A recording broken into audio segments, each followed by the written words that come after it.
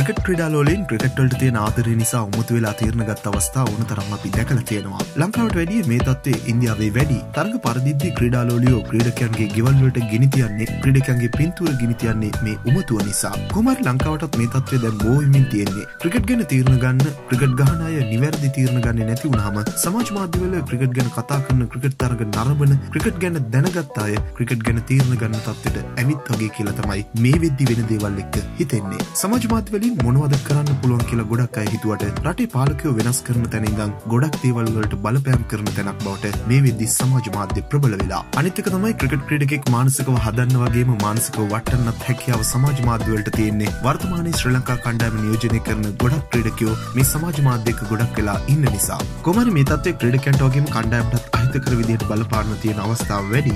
1996 ලෝක කුස්ලානයට කණ්ඩායම සූදානම් වෙද්දී දැන් කරන විදිහට අංක 3 ගුරා ගහනවා වගේ මදි. සමත් ආරම්භක ප්‍රතිකරෝ විදියට ශුවර් කරන්න පුළුවන්ද? අර්ජුන වගේ ඒකාධිපති නායකෙක් අපේ කණ්ඩායමට හරියනවාද? හසාට එක්දින ගහන්න පුළුවන්ද වගේ දේවල් තීරණය කළේ සමාජ මාධ්‍යවල බහුතර කැමැත්තට වුණානම් අපිට ලෝක කුස්ලානය අහිමි වෙන්නත් තිබුණා. කොමරි දැන් මේ තත්ත්වය පාලනය කරන්න අමාරු තත්ත්වයට ඇවිත් තියෙන්නේ. කරන්න තියෙන හොඳම දේ තමයි ක්‍රීඩකයෝ තමන්ගේ වගකීම තේරුම් අරගෙන තමන්ගේ හැකියාව විශ්වාස කරලා ක්‍රීඩා කරන එක ඒ වගේම තේරීම් කමිටුව දේශීය තරඟ නරඹලා දක්ෂ ක්‍රීඩකයෝ හඳුනාගෙන ඒ ක්‍රීඩකයෝ අවශ්‍ය වෙලාවට කණ්ඩායමට ගේනවා නම් සමාජ මාධ්‍යවලින් තමන් කැමති ක්‍රීඩකයා කණ්ඩායමට ගන්න කියලා අනවශ්‍ය පිම්බීමක් කරන එකත් නැතිවෙයි. තමන් ආදරය කරන ක්‍රීඩාවේ පරාජයන් ලබද්දී මොනවත් නොවන වගේ ක්‍රීඩකයෝ පිළිගන්න තත්ත්වයට අපි වැටෙන්න ඕන නැහැ. මොකද එහෙම වුණොත් අපි ඉන්දියා කණ්ඩායමේ හිටපු නායක එම්.එස් ධෝනිගේ බල්ලා වගේ වෙනවා. ධෝනිකින් එක වතාවක් ජයග්‍රහණයේදී වගේ පරාජයේදී ප්‍රේක්ෂකයෝ හැසිරෙන විදිය ගැන ඇහුවම ධෝනි කියලා තිබුණේ මම දිනලාපු දවසටත් පෙරදිලාපු දවසටත් මගේ බල්ලා මම පිළිගන්නේ එකම විදිහට කියලා. ධෝනි එහෙම කියන්නේ තමන්ට ප්‍රේක්ෂකයන්ගෙන් ඉන්න බලපෑම තමන් ගණන් ගන්නේ නැහැ කියලා අඟවන්න. මේ විදිහට ධෝනිගේ බල්ලක් නොවී